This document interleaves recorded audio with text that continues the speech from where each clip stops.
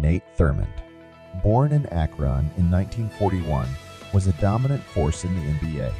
Standing tall at 6 feet 11 inches, he showcased remarkable skills, earning multiple All-Star selections and making history with the first quadruple-double in 1974. Playing for teams like the Warriors, Bulls, and Cavaliers, Thurmond left an enduring legacy in the league.